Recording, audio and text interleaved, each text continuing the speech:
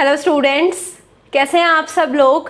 आज इस वीडियो में हम स्टार्ट कर रहे हैं MCQ numerical practice session right so हम बहुत सारे एमसीक्यूज देखेंगे on the unit one of antenna and wave propagation so unit one of antenna and wave propagation में बहुत सारे इंटरेस्टिंग टॉपिक्स हैं लाइक ग्रेडियंट डाइवर्जेंस कर्ल और coordinate system Cartesian coordinate system cylindrical spherical coordinate system then Laplacian so so, बहुत सारे topics हैं। इन सारे topic पर डिटेल में हम देखेंगे 50 एक्चुअली 52 हैं 52 two M C Qs right so 50 plus M C Qs हैं हमारे पास।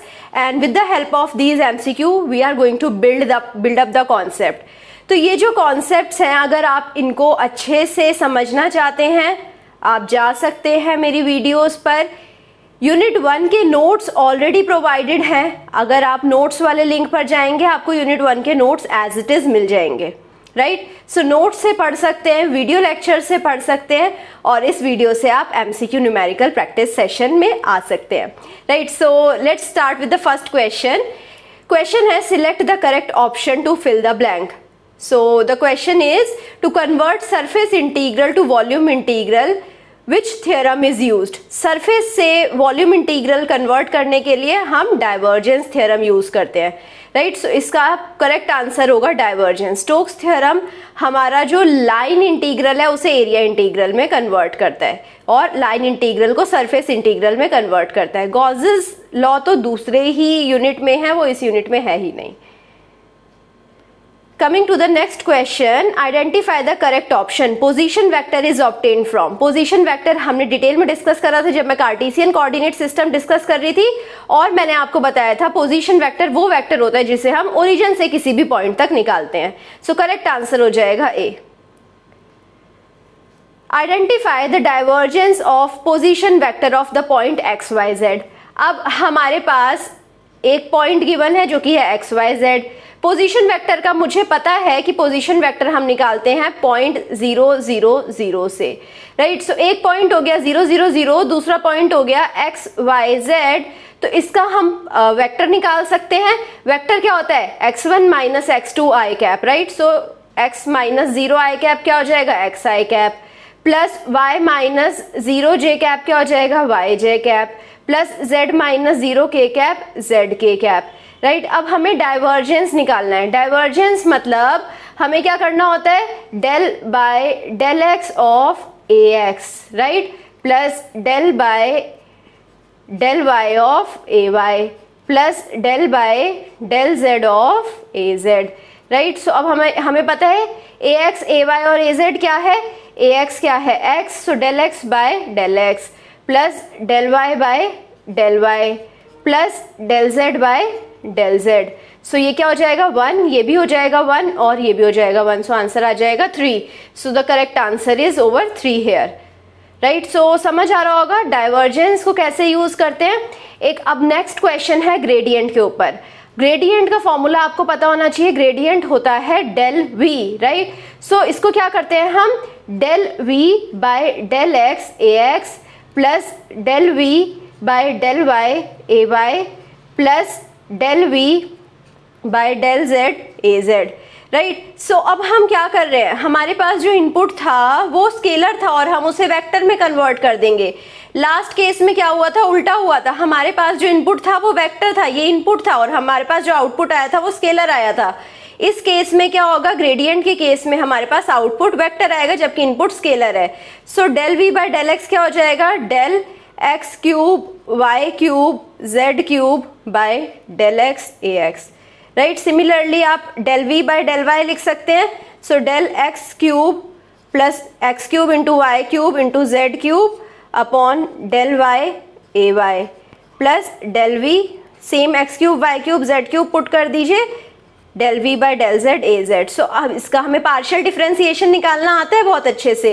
ये हो जाएगा three X square Y cube Z cube right? A X A X को मत भूल जाइएगा या इसे आई भी लिख सकते हैं, जो आपकी मर्ज़ी है।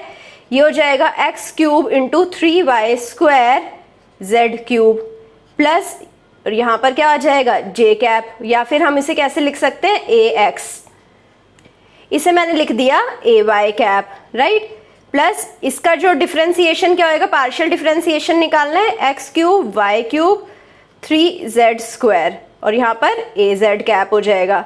राइट सो पॉइंट क्या है? वन वन वन जब पॉइंट को वन वन वन पुट कर देते हैं तो क्या हो जाएगा? Three A X plus three A Y plus three A Z और A X A Y A Z को हम आई जे के भी लिख सकते हैं तो three I plus three J plus three K so I hope आपको समझ आ गया होगा। The answer is C coming to the next question same he type का क्वेश्चन है gradient of X Y Z निकालना at the point one one one so del by del X of X Y Z plus del by del Y of यहाँ पर मैं आई cap भी लगा देती हूँ। आप मत भूलिएगा I cap J cap and K cap right so यहाँ पर del by del Z of X Y Z और ये हो जाएगा K cap so del by del X of X Y Z क्या होगा यहाँ वाई जेड आई कैप होगा. यहाँ पर एक्स जेड जे कैप होगा प्लस यहाँ पर एक्स वाई के कैप होगा। सो so, यहाँ पर जब वैल्यूज़ पुट करेंगे तो आपके पास आ जाएगा I cap plus J cap plus K cap ये ऑप्शन गिवन है option number A so this is how we can solve coming to the next question हमारे पास जो पॉइंट गिवन है वो गिवन है थ्री फोर फाइव जो कि है कार्टिसियन कोऑर्डिनेट सिस्टम में। हमें क्या करना है? हमें स्फेरिकल कोऑर्डिनेट निकालना है इसका। राइट सो स्फेरिकल कोऑर्डिनेट के लिए सबसे पहले हम आर निकालते हैं। आर होता है under root X square plus Y square plus Z square X है थ्री वाई है फोर एंड जेड है five so under root three square plus four square plus five square जब आप इसे निकालेंगे तो सेवन पॉइंट ज़ीरो सेवन आएगा। तो आंसर या तो ये है या आंसर ये है राइट right? सो so, अब हम क्या करेंगे? फाइव की वैल्यू देखेंगे। फाइव होता है tan inverse y upon x right so tan tan inverse y upon x क्या हो जाएगा? Tan inverse four upon three tan inverse four upon three क्या हो जाएगा? It will be coming nearly equal to fifty three point one so ये fifty three हो गया. सो so, हमारे पास दो ही ऑप्शन थे. ए ऑप्शन में सेवन पॉइंट ज़ीरो सेवन था सी ऑप्शन में सेवन पॉइंट ज़ीरो सेवन था. फाइव निकाला फाइव यहाँ पर फिफ्टी थ्री है तो ये आंसर नहीं है आंसर ए है. Recognise the scalar factor of spherical coordinate यहाँ पर स्केलर फैक्टर स्फेरिकल कोऑर्डिनेट के लिए होता है one R R sine theta Cartesian coordinate के बारे में बात करेंगे तो वन वन वन हो जाएगा। अगर मैं सिलेंड्रिकल कोऑर्डिनेट सिस्टम की बात करूँ तो वन रो और one right so scalar factor ये कांस्टेंट ही रहेगा। अगर एक, एक बार आपको समझ आ गया है तो आप ये क्वेश्चन में हमेशा वन आर और आर साइन थीटा ही लिखेंगे। नेक्स्ट क्वेश्चन है identify which of the following represent coordinate of charge located at point P okay so यहाँ पर ये जो हमारा पॉइंट पी है, इसका कोऑर्डिनेट देखना है हमें। पी है टू थर्टी डिग्री और नाइन्टी राइट सो ये जो 90 है ये आपको बेवकूफ़ बनाने के लिए यहाँ 90 गिवन है। ये 90 डिग्री नहीं है। मोस्टली स्टूडेंट क्या समझेंगे? 90 डिग्री है 30 डिग्री है। ये स्फेरिकल कोऑर्डिनेट सिस्टम है। मगर ये 90 डिग्री नहीं है तो इसकी वजह से ये एक ही डिग्री एंगल है। एक एंगल है हमारे पास और दो पॉइंट्स हैं। तो ये होता है हमारा सिलेंड्रिकल कोऑर्डिनेट सिस्टम में। Now com, uh, coming to the next question select the correct option. The del operator is also known as divergence. ये सब तो इसकी एप्लीकेशंस हैं। अगेन ये सब आपको कंफ्यूज करने के लिए दे रखा है। So gradient curl divergence del operator की एप्लीकेशंस है but it is known as vector differential operator identify the given statement is true or false. The curl of gradient of vector is always non-zero. अब मैं आपको एक trick बताती हूँ। जब भी ऑलवेज वर्ड रहे, जब भी ऑलवेज वर्ड आ रहा है ना मोस्टली वो फॉल्स होगा। क्यों होगा फॉल्स क्योंकि ऑलवेज मतलब सारी की सारी कंडीशंस ले लेना। सारी की सारी कंडीशंस में आंसर नॉन ज़ीरो नहीं हो सकता। ग्रेडियंट क्या होता है? ग्रेडियंट एक वेक्टर होता है। कर्ल ऑफ़ ग्रेडियंट तो वेक्टर और वेक्टर का कर्ल हम निकाल सकते हैं राइट सो ये क्या हमेशा नॉन ज़ीरो होगा? ये तो ज़ीरो भी हो सकता है। वी नो जब जो दो वेक्टर्स पैरेलल होते हैं तो उनका कर्ल का आउटपुट ज़ीरो आता है। तो ये नॉन ज़ीरो हमेशा नहीं होगा। तो जब भी हमारे पास ऑलवेज वाला केस आ रहा है आंसर मोस्टली फॉल्स ही होगा 90 परसेंट आंसर फॉल्स होगा। So investigate the electric field at point one one one when B is minus three X Y square Z cube so हमें क्या करना है? हमें पता है कि gradient of V is electric field so ये जो बेसिक फॉर्मूला हमें ट्वेल्थ से आता है, हम उस फॉर्मूले से आंसर निकालेंगे। सो ग्रेडियंट ऑफ़ वी निकालना आता है हमें del V by del X करेंगे। So del V by del X करा तो minus three Y square Z cube I cap right plus del V by del Y करेंगे so minus six X Y Z cube J cap plus minus del V by del Z करेंगे तो minus nine X Y square Z square right और यहाँ पर के cap सो जब आप यहाँ पर वन वन वन पॉइंट रख देंगे तो यहाँ आ जाएगा minus three I cap plus minus six J cap plus minus nine K cap अब माइनस कॉमन ले लेंगे तो हमारे पास three I cap plus six J plus nine K so ये हो जाएगा हमारा answer Identify the given statement is true or false. The divergence of curl of a vector is zero. क्या ये always possible है Divergence of curl क्या हमेशा zero होगा नहीं So it is false. Coming to the next question, the Laplacian operator is actually Laplacian क्या होता है Gradient of divergence of V, divergence of gradient of V, curl of divergence of V, divergence of curl of V. Laplacian होता है divergence of gradient of V. Coming to the next question, demonstrate when two vectors are parallel. जब दो vector parallel होते हैं उनके बीच का angle zero होगा right so angle is zero और अगर हम डॉट प्रोडक्ट का फॉर्मूला देखें, डॉट प्रोडक्ट का फॉर्मूला क्या होता है? Magnitude of A magnitude of B into cos of theta cross product का फॉर्मूला क्या होता है? Magnitude of A magnitude of B sine of theta so जब हम थीटा को ज़ीरो पुट करेंगे साइन ऑफ़ थीटा ज़ीरो हो जाएगा which means cross product zero हो जाएगा. Both will not be zero क्योंकि कॉस ऑफ़ ज़ीरो वन होता है right so both are not necessarily zero ये भी स्टेटमेंट फॉल्स है क्योंकि क्रॉस प्रोडक्ट ज़ीरो हो जाएगा. Interpret which of the following is not true कौन सा नॉट ट्रू है? A dot B cross C B cross C का जो आउटपुट आएगा वो वेक्टर आएगा। वेक्टर को डॉट प्रोडक्ट करेंगे ए के साथ तो स्केलर आ जाएगा राइट सो ये ट्रू है। A cross B dot C B dot C एक, ये जो हमारा बी डॉट सी है, ये स्केलर है। स्केलर का वेक्टर से क्रॉस प्रोडक्ट नहीं कर सकते। तो ये आंसर करेक्ट नहीं है। तो ये हमारे पास हमें क्या करना था? नॉट ट्रू आंसर निकालना था। नॉट ट्रू मतलब नॉट ट्रू मतलब यही आंसर करेक्ट होगा। हमें यही आंसर फाइंड आउट करना था। A cross B cross C vector ही होगा तो ये भी ट्रू है। ट्रू स्टेटमेंट हमें नहीं फाइंड आउट करनी। Gradient of a function is a variable always again यहाँ पर ऑलवेज आ गया। Gradient of a function is always a variable नहीं। कभी कभी ग्रेडियंट एक कांस्टेंट भी आ जाता है राइट right? हमने ऑलरेडी एग्जांपल्स देख लिए जहाँ पर कांस्टेंट आ गया था gradient right right? Define mathematically the application of gradient gradient का एप्लीकेशन क्या होता है? ये आप याद कर सकते हैं स्लोप निकालने के काम आता है gradient examine this statement is true और false the curl is zero for a conservative field अब कंजर्वेटिव फ़ील्ड होता है कंजर्वेटिव फ़ील्ड के लिए क्या होता है? कर्ल ज़ीरो होता है? Yes curl is zero so ये स्टेटमेंट ट्रू है. Coming to the next question, the harmonic field has only curl equal to zero. Harmonic field कब होती है? जब लाप्लाशियन ज़ीरो होता है। तो सिर्फ़ कर्ल ज़ीरो नहीं होना चाहिए। लाप्लाशियन ज़ीरो होना चाहिए। तो ये है फॉल्स तो ये जब भी ओनली ऑलवेज बहुत ज़्यादा एक्सट्रीम सिचुएशन आ जाती हैं, तब ये सिचुएशंस करेक्ट नहीं होती हैं।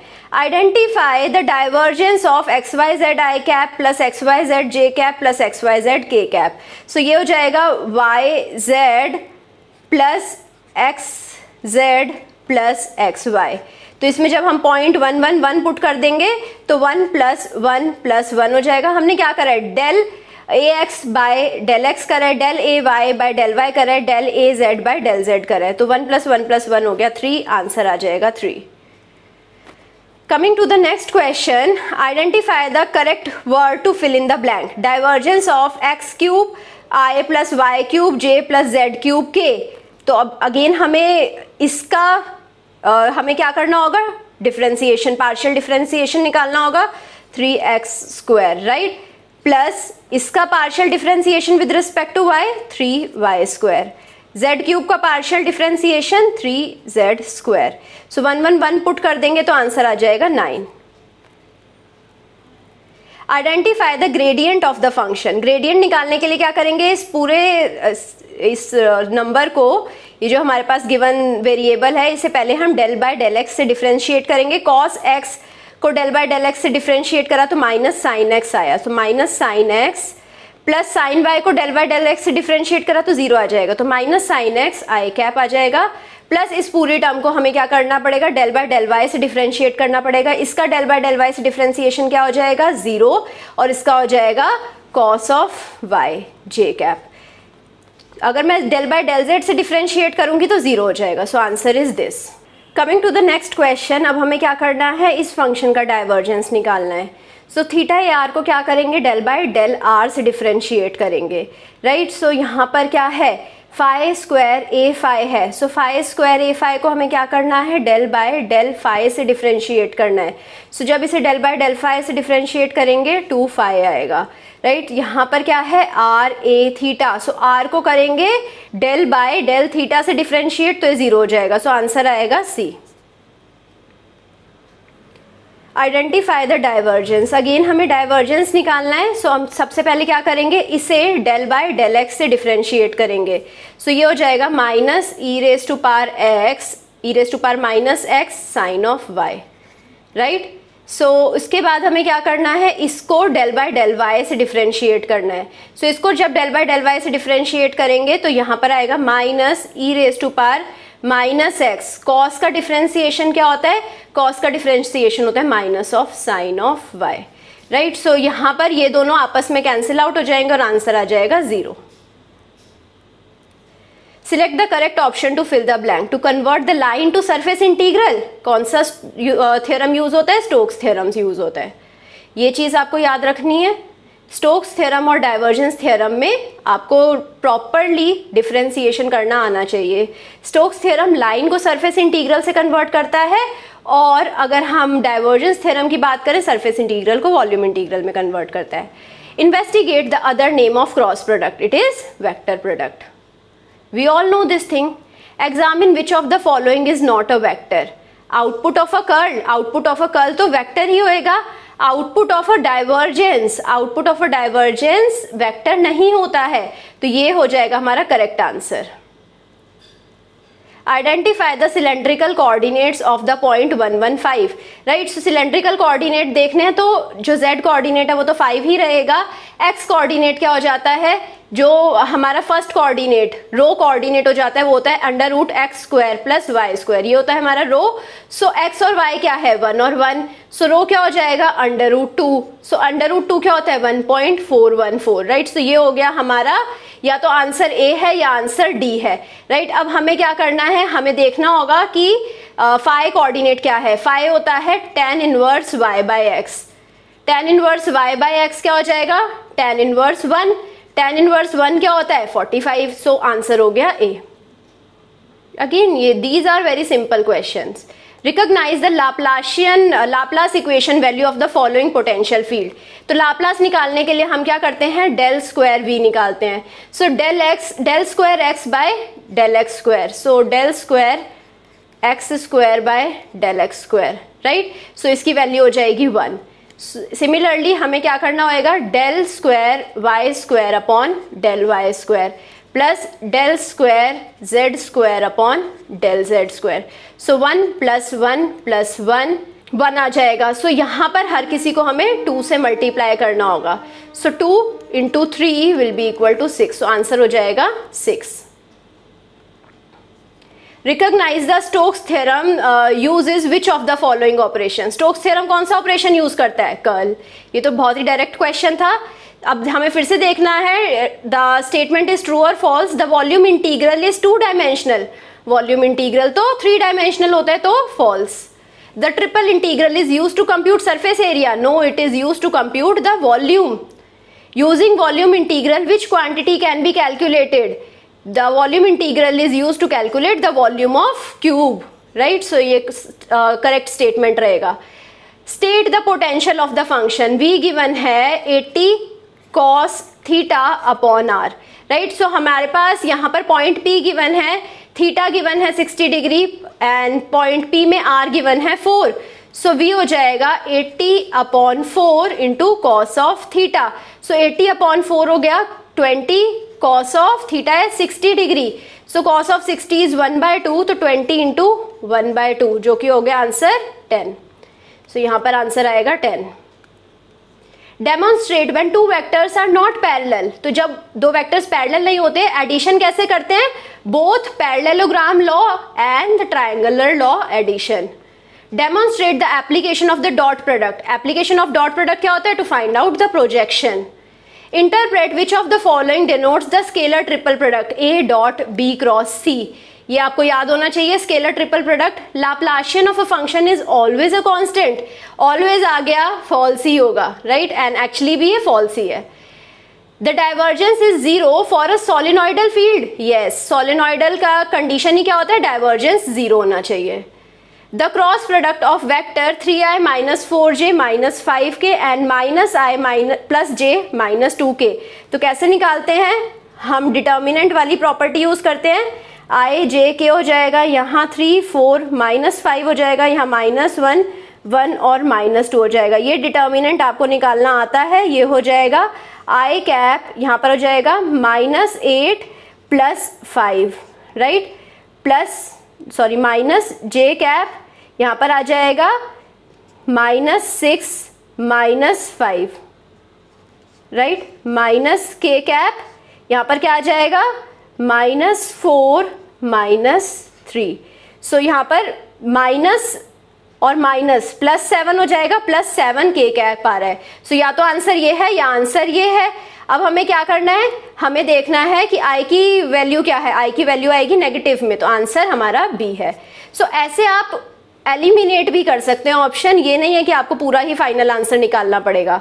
लॉरेंस फोर्स क्या होता है? लॉरेंस फोर्स होता है q v cross B so it is based upon यहाँ पर दिख ही रहा है cross product which of the Pythagorean theorem is valid in electromagnetics जब हम ये फॉर्मूला यूज़ करेंगे dot product square plus cross product square is equal to one तो हमारे पास cos square theta cos square theta plus sine square theta is equal to one आ जाता है और यहाँ पर इस इक्वेशन के थ्रू ये पाइथागोरस थ्योरम प्रूव होती है सो so, ये हमारी इक्वेशन है जो पाइथागोरस थ्योरम वैलिडेट करती है the polar form of Cartesian coordinate is circular coordinate The distance vector can be used to compute which of the following? It is used to compute the unit normal vector. Find the divergence of the vector. हमें क्या करना है? Y को del by del x से differentiate करेंगे zero आएगा. Z को del by del Y से डिफ्रेंशिएट करेंगे ज़ीरो आएगा. X को डेल बाय डेल z से डिफ्रेंशिएट करेंगे ज़ीरो आएगा. तो answer is zero determine the divergence of this thing at the point right so इसका डाइवर्जेंस निकालते हैं. थर्टी का जो हो जाएगा डाइवर्जेंस हो जाएगा वो del by del x of thirty is zero plus two x y तो ये हो जाएगा plus two x plus five x z square. So ये हो जाएगा टेन एक्स जेड। सो हम यहाँ पर वैल्यूज़ पुट कर देते हैं। टू एक्स क्या हो जाएगा? Two plus ten into one into minus zero point two so so, 10 को पॉइंट टू से जब मल्टीप्लाई uh, करेंगे तो हमारे पास क्या आ जाएगा? 2 so two minus two will be equal to zero मतलब हमारे पास जो डाइवर्जेंस आया है वो ज़ीरो आया है. तो जब डाइवर्जेंस ज़ीरो आता है ये सोलिनोइडल फ़ील्ड होती है. ये तो हम ऑलरेडी बात भी कर चुके हैं.